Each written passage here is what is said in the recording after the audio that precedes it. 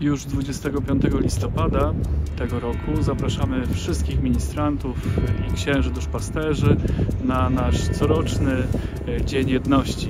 Zrobiło się biało, ale mamy nadzieję też, że zrobi się biało w naszej katedrze od Waszych e, ministranckich strojów.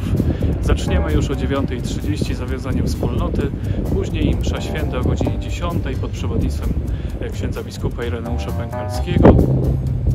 Ten program będzie właśnie tutaj, w łódzkiej katedrze.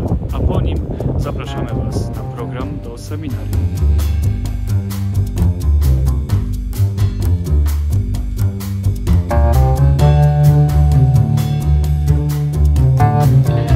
Następnie o 11.30 zaczynamy program seminarium w dwóch grupach, młodsi i starsi.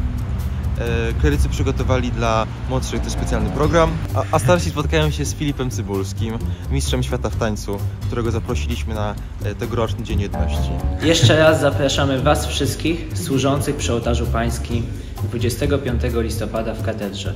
Świętujmy ten dzień razem i we wspólnocie. Król nam Chryste!